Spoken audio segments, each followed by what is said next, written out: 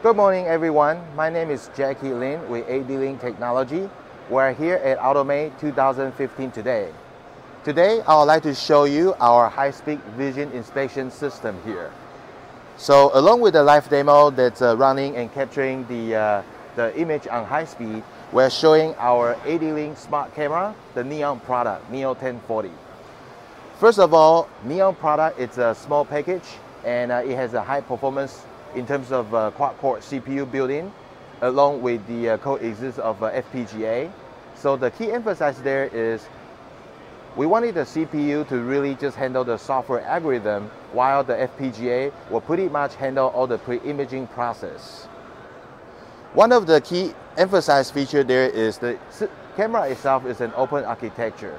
So compared to the traditional conventional camera, this camera will get you the support up to all kinds of uh, third-party software solutions.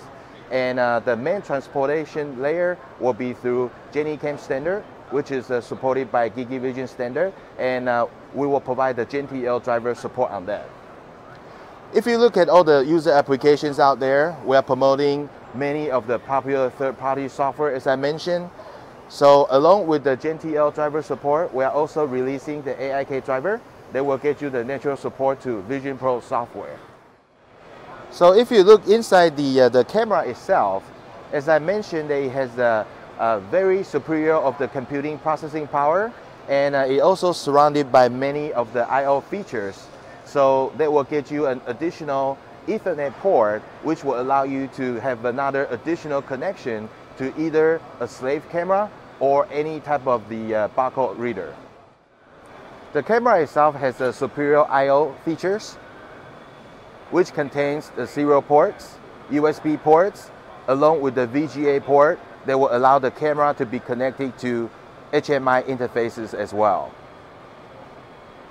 The enclosure itself is IP67 rated, and uh, the camera itself has a built-in PWM feature that will allow the user to avoid adding the additional external lighting control systems. We thank you for viewing our video and for any additional information, please visit www.adlinktech.com.